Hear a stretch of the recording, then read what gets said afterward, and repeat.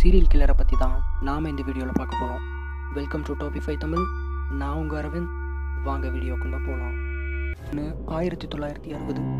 அமெரிக்காவில் ஒஹியோங்கிற மாகாணத்தில் மிலுவாக்குங்கிற இடத்துல ஜாய்ஸ் டேமர் மற்றும் லியனல் டேமர் ஆகிய இருவருக்கும் மகனாக பிறக்கிறவன் தான் ஜெஃபரி லியனல் டேமர். குழந்தை பருவத்திலேயே ஜெஃபரி டேமர் மிகவும் தனிமை விரும்பியாக இருந்திருக்கான். பூச்சிகள் மற்றும் விலங்குகள் போன்றவற்றை கொன்று அதை பாதி பாதியாக வெட்டி எடுக்கிறது இவனோட மிகப்பெரிய ஹாபியாக இருந்துச்சு.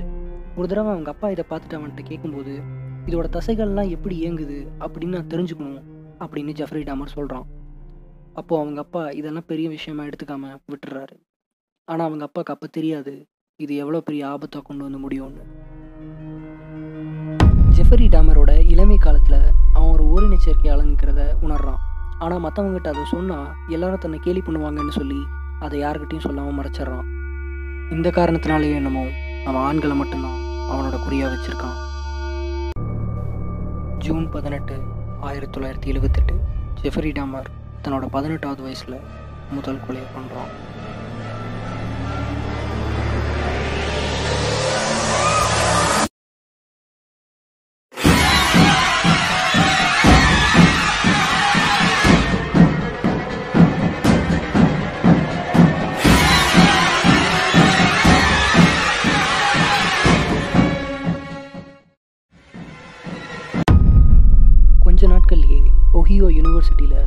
கிராஜுவேஷனை படிக்க தொடங்குறான்.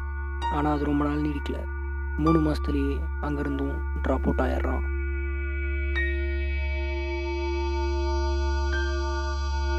அதன் பிறகு ஜெஃப்ரி டேமர் பயங்கரமாக குடிப்பழக்கத்துக்கும் அடிமையாகிறான். இதெல்லாம் பார்த்துட்டு இருந்த அவங்க அப்பா இவன் இப்படியே இருந்தால் சரிப்பட்டு வரமாட்டான்னு சொல்லி அவனை யூஎஸ் மிலிட்ரியில் ஜாயின் பண்ண சொல்லி வற்புறுத்துறாரு. ஜெஃப்ரி டேமரை யூஎஸ் மிலிட்ரியில் ஜாயின் பண்ண சொன்னதுக்கு காரணமே அவன் கொஞ்சம் கொஞ்சமாக அந்த குடிப்பழக்கத்துலேருந்து வெளியே வந்துருவான்னு தான்.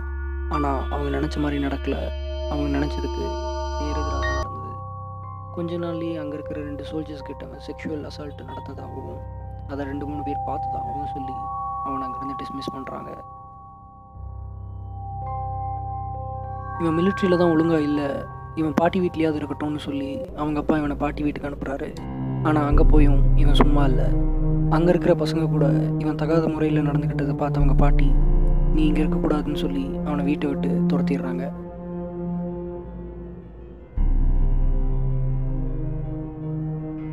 இதற்கிடையில் ஜெஃபரி டேமரோட பெற்றோர்களுக்குள்ள நடந்த சில கருத்து வேறுபாடு காரணமாக ரெண்டு பேரும் டிவோர்ஸ்க்கு அப்ளை பண்ணியிருந்தாங்க.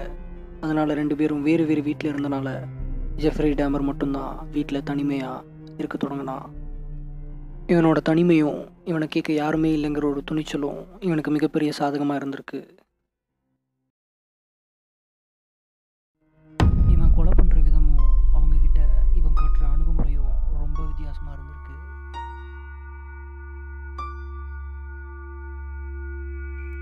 இவனோட டார்கெட் எல்லாமே ஏழை ஆண்களாக மட்டும்தான் இருந்திருக்கு. குறிப்பாக சொல்லணுன்னா கருப்பினத்தைச் சேர்ந்த ஆண்களை மட்டுமே இவன் கொலை பண்ணியிருக்கான். இதே போல் பதினெட்டு வருடங்களாக பல கொலைகளை செய்து வந்திருக்கான் ஜெஃபரி டாமர். இருந்தபோதும் அருகில் வசித்து வந்த சில மக்கள் ஜெஃபரி டாமர்கிட்ட உங்கள் வீட்டில் இருந்து ஏதோ துர்நாற்றம் வருது அப்படின்னு அடிக்கடி சொல்லிகிட்டே இருந்திருக்காங்க. ஆனால் ஜெஃபரி டேமர் என் ஃப்ரிட்ஜு சரியில்லை அதில் வச்ச இறைச்சியிலேருந்து அப்படி துர்நாற்றம் வருது அப்படின்னு சொல்லி சமாளிச்சுக்கிட்டே இருந்திருக்கான். இதே போல் ஜூலை இருபத்தி ரெண்டு ஆயிரத்தி தொள்ளாயிரத்தி தொண்ணூற்றி ஒன்றில் ஒரு மூணு பேத்துக்கிட்ட போய் நான் உங்களுக்கு நூறு டாலர் தரேன். என் வீட்டுக்கு வந்து நியூடாக ஃபோட்டோக்கு போஸ்ட் கொடுங்க அப்படின்னு சொல்லியிருக்கான் ஜெஃப்ரி டேமர் அதில் எட்வர்ட் அப்படிங்கிற ஒரு கருப்பினத்தை சேர்ந்தவர் சம்மதித்து அவரோட வீட்டுக்கும் வந்திருக்கான்.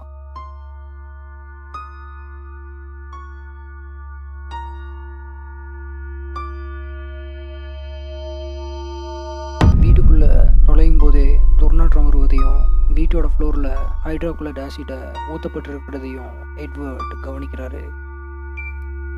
உள்ளே வந்ததும் ஜெஃப்ரி தன் கை பின்னாடி ஒரு கத்தியை வச்சிருக்கிறத கவனிக்கிறாரு எட்வர்ட். இதை பார்த்ததுமே சுதாரிச்சுக்கிட்ட எட்வர்ட் ஜெஃப்ரி டேமரோட முகத்தில் ஒரு பஞ்ச் பண்ணிட்டு அங்கேருந்து ஓடிடுறாரு. பின் நடந்த அனைத்து விஷயங்களையும் எட்வர்ட் ஒஹியோ போலீஸ் டிபார்ட்மெண்ட்டுக்கு சொல்கிறாரு அங்கு எட்வர்ட் மற்றும் மூன்று போலீஸ் ஆஃபீஸர்ஸும் வராங்க. சிறிது நேரம் ரொம்ப அமைதியாக பதில் பேசிகிட்டு இருக்க டேமர் போலீஸ் ஆஃபீஸர்ஸ் உங்கள் வீட்டை சோதனை பண்ணணும் அப்படின்னு சொன்ன உடனே ரொம்ப பயங்கரமாக கத்தி ஆர்கியூ பண்ண ஆரம்பிக்கிறாரு. சிறிது நேரத்தில் டேமர் பின்பக்கத்தில் ஹேண்ட்கஃப் பண்ணப்பட்டு வீட்டை சோதனை பண்ணுறாங்க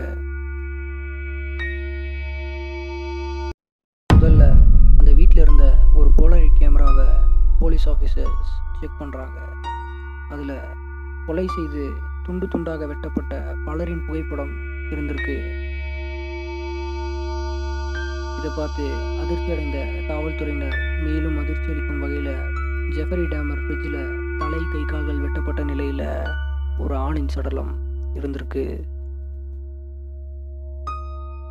ஆதாரங்கள் அடிப்படையில் ஜெஃபரி டேமர் பதினாறு அல்லது பதினெட்டு கொலைகள் செய்ததற்கான ஆதாரங்கள் கிடைக்கப்பட்டது.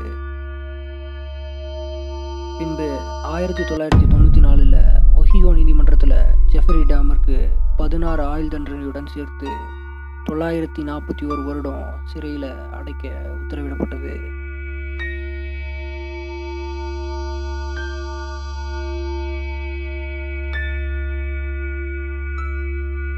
பின்பு நவம்பர் இருபத்தெட்டு ஆயிரத்தி தொள்ளாயிரத்தி தொண்ணூற்றி நாலில் ஜெஃபரி டேமர் தன் சக கைதியான கிறிஸ்டோபஸ் கிராவர் என்பவரால் தாக்கப்பட்டு சிறையிலேயே உயிரிழந்தார்.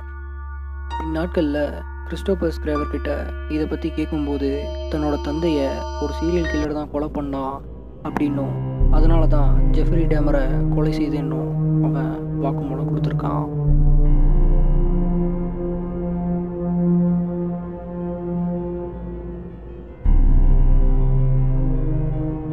போடக்கூடிய வீடியோக்கள் உங்களுக்கு பிடிச்சிருந்துச்சுன்னா லைக் பண்ணுங்கள் கமெண்ட் பண்ணுங்கள் உங்கள் ஃப்ரெண்ட்ஸோட இந்த வீடியோவை ஷேர் பண்ணுங்கள் முக்கியமாக சப்ஸ்கிரைப் பண்ணி பக்கத்தில் இருக்கிற பெல் ஐக்கானை கிளிக் பண்ணி வச்சுக்கோங்க. அப்போ தான் நான் ஃபியூச்சரில் போடக்கூடிய வீடியோ உங்களுக்கு தவறாமல் வரும்.